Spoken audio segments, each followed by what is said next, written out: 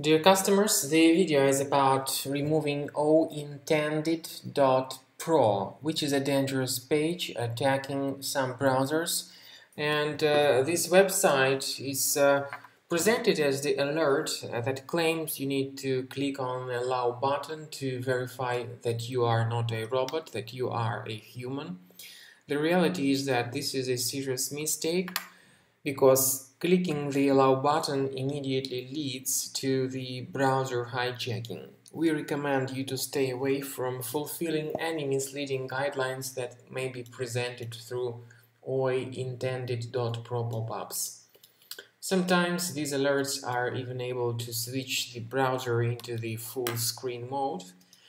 But if that's so, you just um, may click on escape button on your keyboard. Now, as I said, the allow button leads to the browser hijacking. You will be redirected to some other random sites. I recommend you to immediately fix your browser. Go to the menu, click on Settings, then select Site Settings and choose Notifications. Now, the allow area must be thoroughly checked, so you will find this malicious page here, ointended.pro click on this button and remove it. And uh, I also believe that scanning your Mac with the reliable antivirus is very important, so that's my recommendation that you fix your Mac and scan it more effectively automatically with Combo Cleaner. Get it on the page combocleaner.com. That's the uh, anti-malware for Mac. It uh, scans your Mac uh, for free uh, however, the removal of detected malware is not free, even though there are some free features, disk cleaner, big files and duplicates.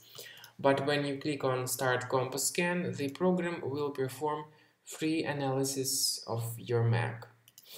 So this is the end of scanning by Combo Cleaner Antivirus. Whether it is the trial version or the premium version, the program will perform free scanning anyway, even with its trial mode.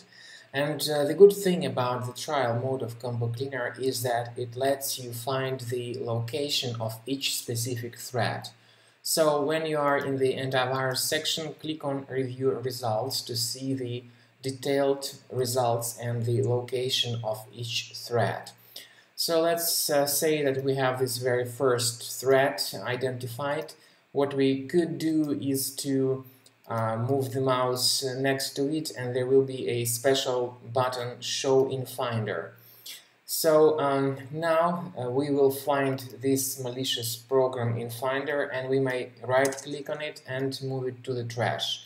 In the same manner you may do uh, with other infected items. Click on show in Finder, uh, then you will be able to see that specific um, thread in Finder and to remove it uh, manually. Uh, or, of course, you may perform the removal automatically with the premium version of the program.